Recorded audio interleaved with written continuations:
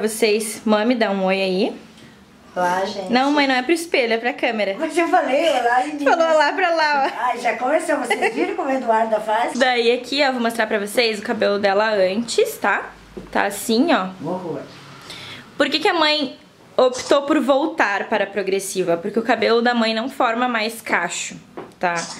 Ele forma volume, né, mãe? Sim, fica bem volumoso. É, e aí ela não aguenta mais ficar com esse, essa jubinha de leão. Muito disso também é por causa da descoloração, porque agora como a mãe tá com os branquitos, né, ela prefere não fazer mais, não deixar o cabelo mais escuro, né, mãe? Explica aí.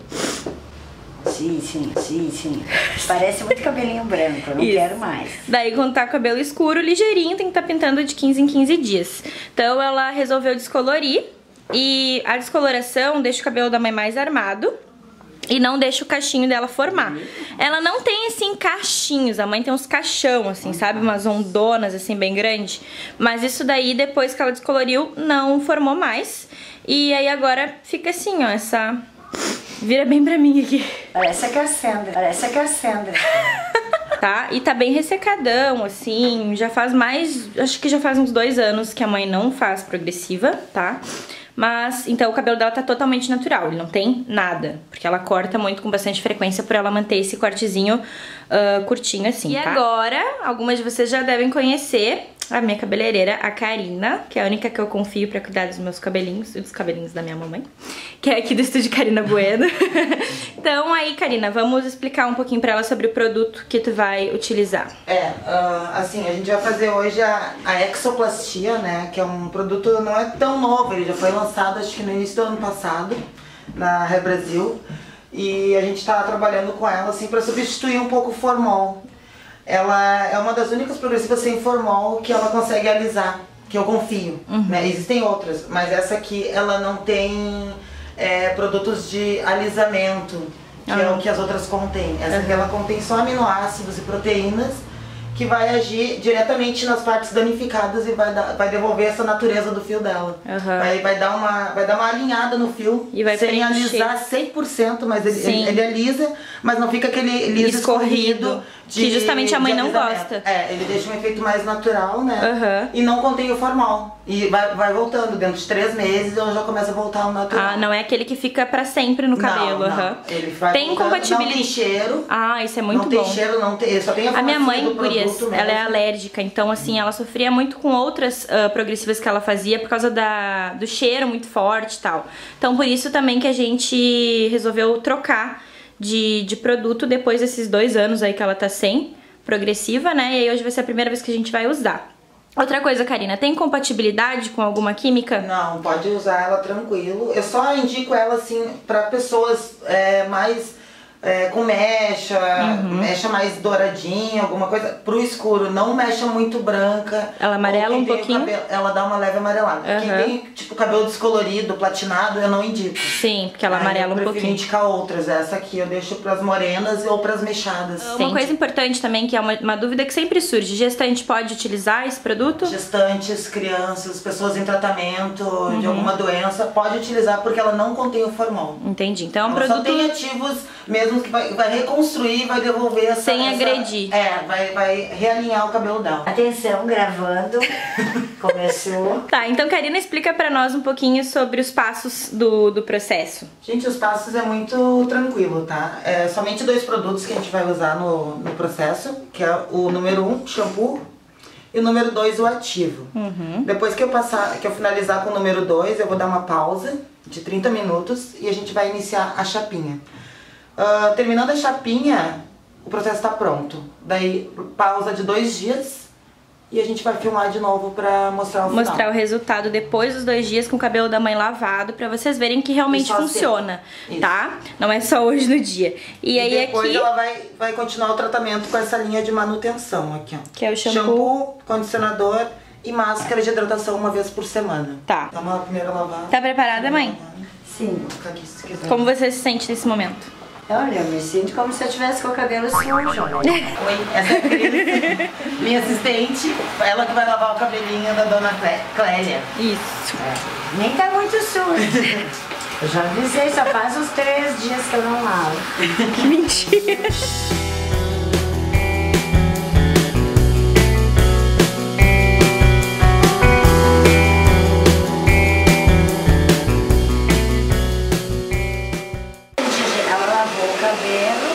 Explica, mãe. Não, é tu que tem que falar, eu. Ué, mas tá metida aí explicando. Ela já tá bem solta, né? Não, ela não tem problema com soltura, ela se solta até demais. Bom, agora ela veio com anti-resíduo, que é o passo número 1. Um. Vou secar em torno de 80 a 90% e vou aplicar o produto ativo. Depois é pausa. Então tá. Depois vem o castigo, é. castigo, ela diz pausa pra dar castigo. Ela não quer que eu grave a mãe? Tchau, meninas. Viram como a Eduarda é boba? Vocês viram? Agora ela vai começar a aplicação. Ó, a mãe que linda que ela Ó, está. meninas. Ó o quê? Tô dando ó pras Ah, meninas. tá, ó. Entendi. Olhem bem, meninas, como é que eu estou aqui. Primeiro se fica feio, depois se fica lindo. É, Tem que destruir pra construir. isso. Ó, Aqui é bem tranquilo o processo de aplicar o produto. A gente vai deixar o cabelo bem alinhadinho Uhum. e vamos dar a pausa de 30 minutos. Só separa, né, as mechinhas. Separa vai a fazendo mexinha por mexinha, aplicação. aplica em todo, da raiz às pontas. Uhum.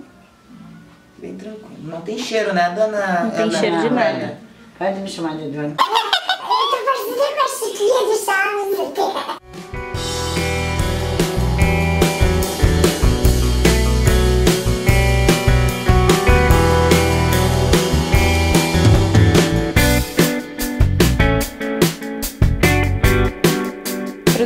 Aplicado, ó, gurias. Levou, foi rapidinho, né, Karina? Cinco minutos. É, não foi muito, não é demorado mesmo, é bem O produto ele é mais líquido, né? Uhum. Não é muito, muito duro. Ele é bem emoliente. E aí agora tem a pausa de 30 minutos? 30 minutos. Tá, então tá. Então daqui a 30 minutos a gente volta. Ó, a vaca lambeu, né?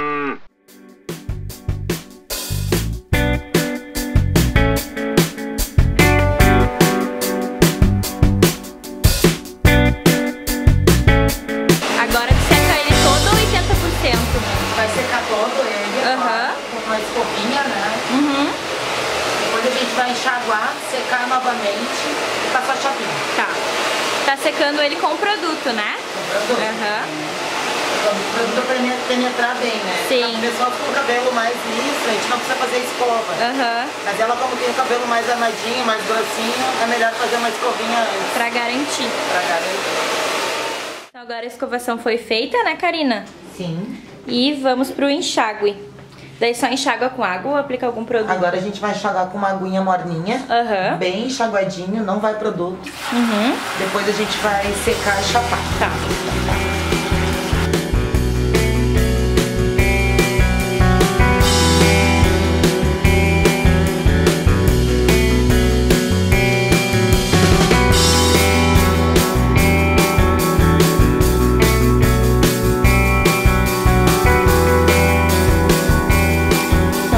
Agora a Karina vai secar o cabelo 100%, deixar bem sequinho pra poder passar a chapinha.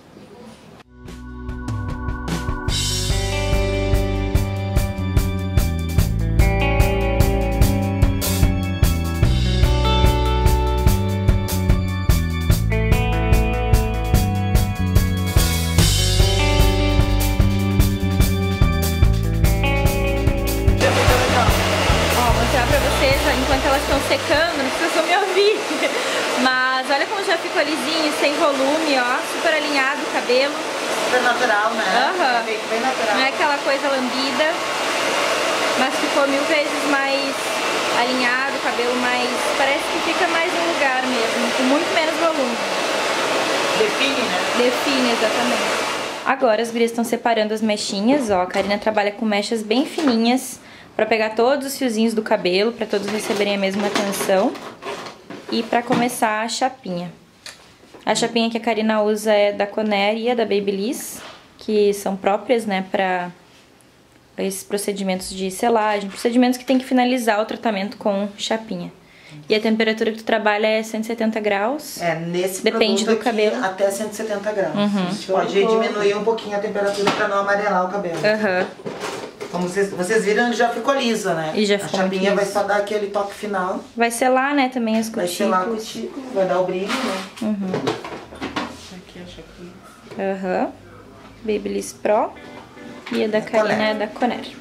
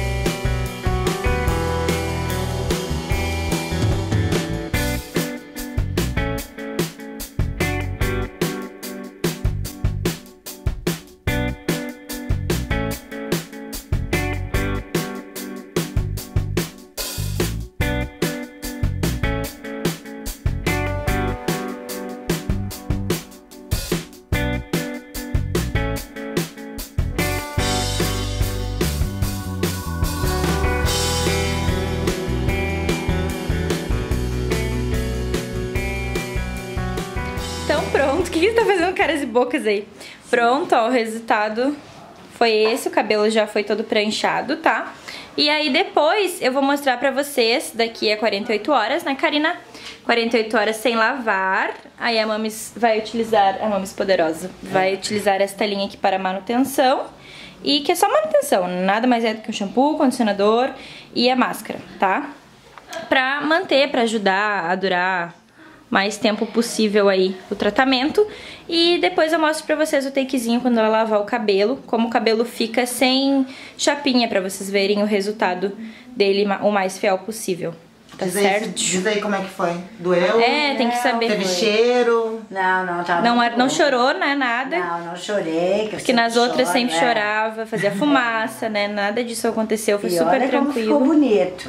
E, E o cabelo solto, da né? mãe tá super solto e tu vê que ele não tá aquela coisa assim chapada, sabe? Não tá aquela coisa vacalambeu. É, tá ele natural, tá, é, né? tá Assim, super e super mais- gostoso, macio assim, tá muito bom mesmo. E aí lá no blog eu vou deixar a resenha completa, tá? Do, dos produtos, inclusive da linha de manutenção. E a Karina tem uma, um presentinho para as leitoras do blog que vierem aqui no estúdio Karina Bueno. Sim, quem, quem vier através do blog vai estar ganhando 10% de desconto aqui. É só dizer que é leitora da Duda e tá tudo certo. Isso aí, tá bom? E aí, se vocês quiserem mais informações, eu vou deixar a página da Karina. Ah, tem site? Tem site ainda, né? é Tem site. www.estudiocarinabueno.com.br Isso aí, vou deixar E todas as informações. no Face Qual é? é Estúdio Carina Bueno. Arroba Estúdio Karina Bueno. Ah, o Estúdio Karina Bueno fica aqui na rua Demetrio Ribeiro, 846 846, Centro. tá? No centro de Porto Alegre, pra quem quiser conferir. Telefone pra mais. O telefone. Fone 3061 4758. Tá, o DDD é 51, tá, gurias? Então, todas essas informações que eu falei vão estar lá no blog. Acessem o link que tá aqui no box de informações, é o primeiro link, tá? E é isso aí, meninas. Deem tchauzinho. Beijão. Depois vocês Tchau. ficam com o cabelo da mãe lavadinho.